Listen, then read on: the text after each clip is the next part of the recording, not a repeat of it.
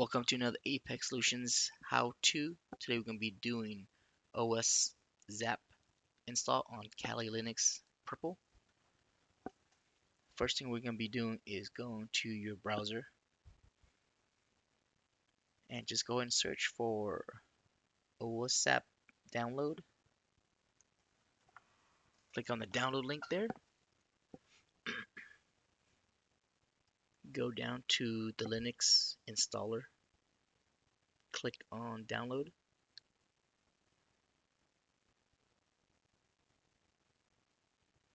It should be ready for you in the download folder. Let's go ahead and wait for that real quick.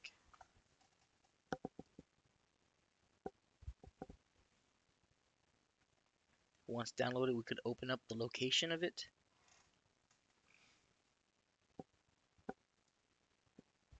And here we could actually just right click and go to terminal in this location.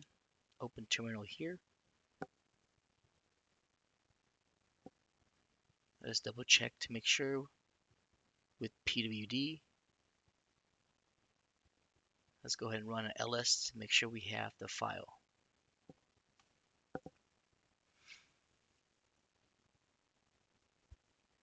Now we're going to have to change this file into an executable with change mod plus x and the name of the file.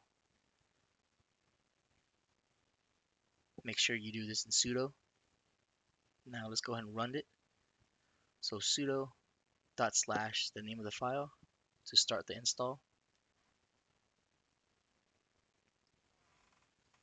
The wizard will start up. Just go ahead and click on next. Accept. Next. I kept it on standard. It's up to you what you want to pick but standard and then click next. Click on install.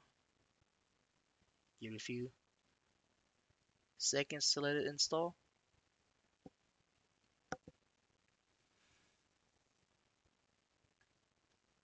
Alright now go ahead and click on finish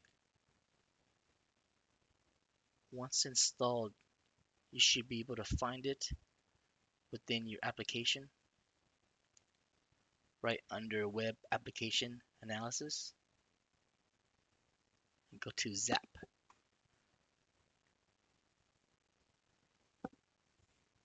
Give it some time for it to load up for the first time. I fast forward this part on my end so it seems a little bit faster but be patient as it's loading.